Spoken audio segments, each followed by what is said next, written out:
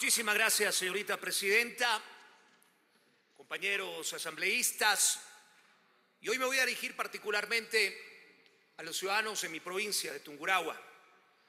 Decimos que cuando venimos a la asamblea no solamente nos despojamos de las camisetas, sino nos despojamos de a poco de intereses particulares provinciales, porque ya venimos a legislar por el país.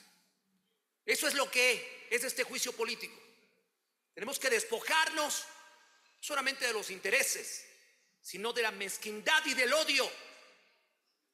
Cuando hablamos de pruebas, no se han completado. Basta decir que aplaudo la sinceridad y sobre todo el criterio de uno de los proponentes, de Leonardo Berresueta. No he probado nada de la embajada. No vinieron mis testigos y no voy a tocar el tema. No voy a insistir. Hay que recordar que esto no se puede dividir, compañeros asambleístas. No puedo votar por una cosa sí, por otra no. No puedo decir esto sí probé y esto otro no. Acá inclusive algún momento se ha tocado sobre la seguridad de funcionarios, hasta de asambleístas. Nunca pensé decir esto, pero algunos creen que tener seguridad es un privilegio o es un lujo.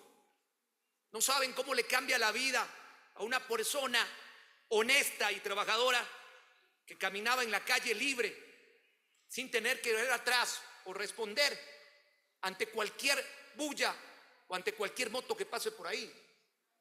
Andar con seguridad no es un lujo, es un miedo, pero quizás con un poco más de precaución. Yo no quisiera que ninguno de ustedes ande con seguridad. Yo no quisiera que ningún funcionario necesite pedir seguridad, pero la situación nos ha traído acá. Y a mí me gusta hablar siempre, no del resultado, no de lo que estamos viviendo hoy. Hay una palabra mágica que hoy salió en el debate, prevención. ¿Ustedes creen que si algún gobierno hubiera prevenido, estuviéramos aquí?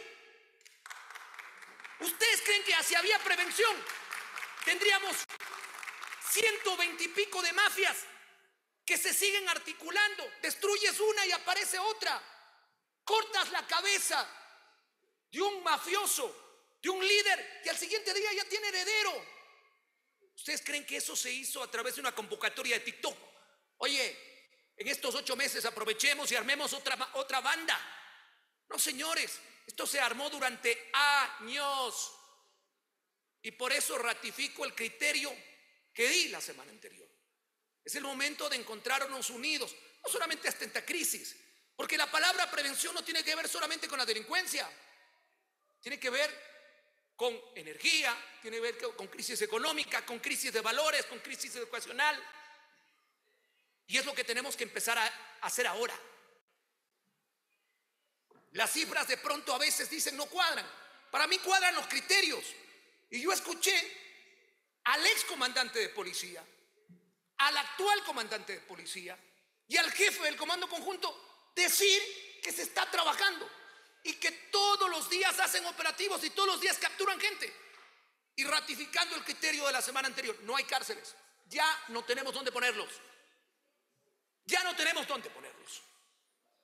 Y ahí va sumado al criterio de que todos hacemos seguridad. Recuerdo alguna vez entrevistaba a un ex ministro y un comandante de policía, me decía, la seguridad no es solo de la policía, nosotros hemos hecho seguridad. Y aquí va una respuesta a la gente que en, redes nos etiqueta y dice, ¿y qué ha hecho la Asamblea? Hemos ratificado lo que el pueblo dijo en la consulta popular y lo hicimos a su tiempo, coherentes. Ese sí está trasladado a acumulación de penas, más sentencia para los criminales y sobre todo que cumplan su pena en las cárceles que tienen que hacerlo de primer nivel. La seguridad la hacemos todos y como asamblea hemos cumplido. Hoy le escuchaba a la prefecta de Esmeraldas hablando de que vamos Esmeraldas. Y qué bueno, ojalá con el tiempo pueda escuchar, vamos a Durán, vamos a Guayaquil. Reconocer que en el último año las cosas han cambiado y yo tuve el gusto de ir a Esmeraldas y encontrarme con un asambleísta de esta provincia y decirme, sí, pese a que no soy de esa bancada, algo ha cambiado. No todo, porque las cosas no son de la noche a la mañana. Pero decirle hoy a la mafia y a la delincuencia que vamos a empezar de nuevo no es un buen mensaje, ni aquí ni afuera del país. Por eso, coherente como soy, porque no cambio de criterio de la noche a la mañana, tengo que ratificar lo que pusimos en nuestro informe de postura cinco asambleístas. No se probaron las acusaciones dentro de este juicio político. ¿Hay cosas que corregir? Sí. Y que este juicio político sirva para aquello. Señora ministra, seguramente algunos de los temas que se tocaron acá, usted los puede mejorar, usted los puede aplicar. Y esperemos que la próxima vez que nos veamos aquí o afuera, esa sea una realidad. La responsabilidad histórica no es de una bancada, son los principios de los ciudadanos los que hoy tienen que serse partícipes y presentes al final cuando asumamos como asamblea lo que el pueblo quiere. Y eso va a ser en nuestra votación. Compañeros asambleístas, señora presidenta, muchísimas gracias.